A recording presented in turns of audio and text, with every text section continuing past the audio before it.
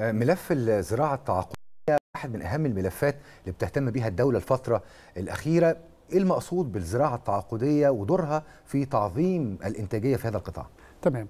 هو طبعا سيادتك الزراعة التعاقدية من أهم ال- المزايا أو من أهم السياسات اللي اتخذتها الدولة في الفترة الأخيرة يعني آه، وتقديمها كهدية للسادة المزارعين. إن طبعا إن المزارع يعني كان من أهم المشاكل بتقابله تسويق المنتجات بتاعته. صحيح. فالزراعة التعاقدية بتضمن للمزارع إن بيسوق المنتج بتاعه قبل ما ينتجه. أنا قبل ما أنتج عارف إن أنا هسوق المنتج بتاعي لمين وبسعر كام فببقى عارف إن أنا وايه درجة الجودة اللي مطلوبة مني فببقى عارف قبل ما أنتج المنتج بتاعي خلاص سوقت المنتج بتاعي. فالزراعة التعاقدية بتضمن سعر عادل للمزارع وسعر أيضا مناسب لل- للمستهلك. وبتضمن للمزارع إنه يسوق المنتج بتاعه في التوقيت المناسب ومبقاش يعاني من مشاكل التسويقا- التسويقية اللي كانت بتتم قبل كده.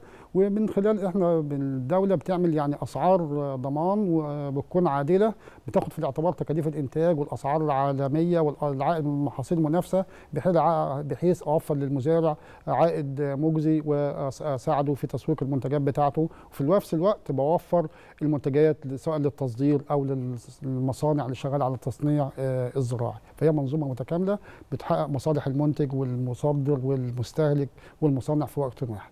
الواحد بيبقى حيران.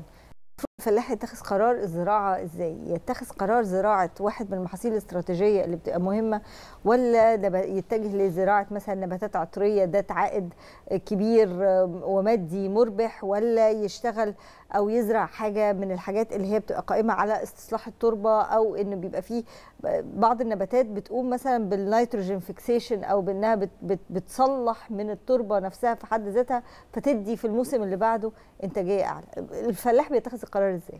وبصوا حضرتك إحنا يعني كدولة محتاجين كل هذه المحاصيل. يعني إحنا محاصيل محتاجين محاصيل استراتيجية عشان نعمل أمن غذائي محتاجين نباتات طبيه وعطرية عشان نعمل إحلال محلي واردات ونزود الصادرات. محتاجين إن إحنا نزرع محاصيل بقولية بحيث زي ما سيادتك قلت إن إحنا نثبت النيتروجين آه، في التربة ونفيد المحاصيل آه، القادمة. لكن السياسة الزراعية في جمهورية مصر العربية وزاره الزراعة والصحة الأراضي بنوجه السادة المزارعين للمحاصيل اللي بترغبها الدولة. في لكل مرحلة لها الظروف بتاعتها. يعني مثلا في مرحلة من وقت من الأوقات في مشكلة في القمح على مستوى العالم. فبنشجع المزارعين إن هو يتوسع في زراعة القمح. ما بفرضش عليه بس أنا بحط له سعر مجزي قبل ميعاد الزراعة بوقت كافي وأعلن عنه. فهذا المزارع فالمزارع فكرة الزراعة في أحواض تاني وتقسيم ال ال ال ال الأراضي الزراعية ل- يعني ده هتبقى مخصصة لزراعة كذا ده هيبقى مخصص لزراعة كذا. ده يزود الإنتاجية ويزود كمان الربحية للفلاح.